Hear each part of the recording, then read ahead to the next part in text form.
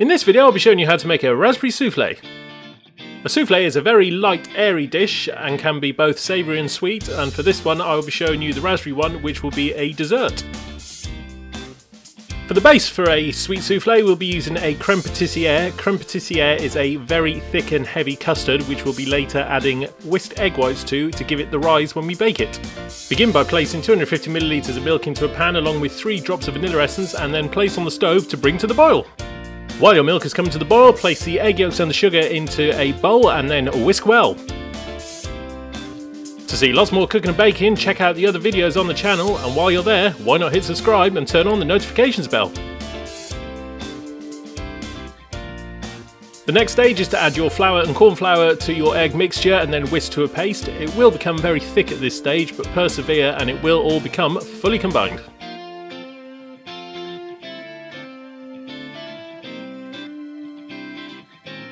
Then we pour our hot milk over our creme patissiere base and whisk as soon as possible to make sure it's all fully combined and then transfer to a clean fresh pan. It's important that you change pans at this stage.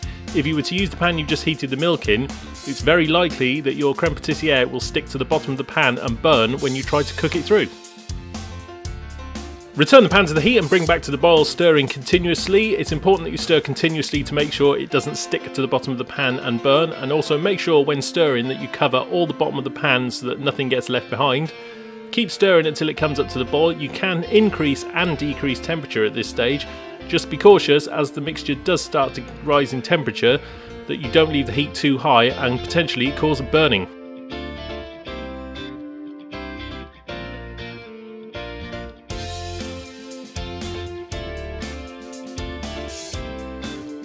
As your creme patissiere does come up to boiling temperature, it will begin to thicken quite a lot. It's important again to just keep stirring and never stop stirring. And when it has come to the boil, let it cook out for about 30 seconds to ensure all the flour gets cooked through, and then add in 125 grams of raspberry coulis before stirring well again. Remove from the heat, transfer to a suitable container and allow to cool. Then we need to prepare our dishes for baking our souffle in. Typically you'd use a ramekin. I've also here shown a little miniature pan I've got to show the variances you can do. Make sure you butter the inside library right the way up to the top of the ramekin and once buttered, dust with caster sugar.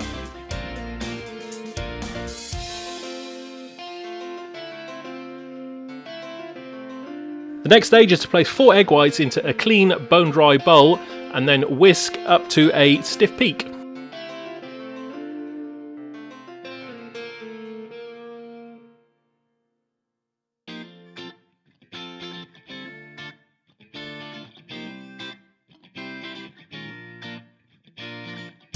Once your egg white has been whisked to the right consistency, you should be able to move the bowl around without the egg white itself making any movement at all.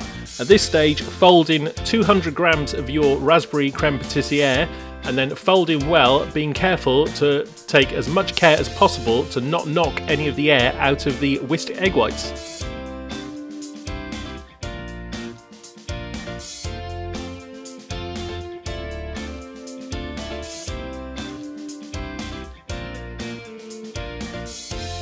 The next stage is to place our mixture into the ramekins ready to bake. Place the mixture right in the centre of the ramekin, about three quarters of the way full. Make sure that none of your mixture actually touches the edges of the ramekin, as if you do this, when you bake it, it will cause the souffle mixture to stick to the side and then pull the souffle over and it will not rise evenly. Place your souffles in a preheated oven on 160 degrees Celsius for 12 minutes or until risen and golden. Temperature and cooking time will vary from oven to oven, but if you look once these have been baked, it gives you a rough indication of what the souffle should look like once it's been baked. While the souffle is baking, get your garnish ready. As you can see here, I've just done a little pattern with some raspberry coulis and some creme anglaise. Although you could just serve the souffles as they are without any garnish. This is just something I did to pass the time while the souffle was baking. Once your souffles have risen and nice and golden, take them out of the oven straight away. As soon as you do remove from the oven, they will start sinking, so you need to be quite quick at this stage. Remove from the oven, dust the top lightly with some icing sugar, and then place on your serving plate. And then make a well in the middle, and then pour in some of the raspberry coulis. And then comes the best part digging in and eating.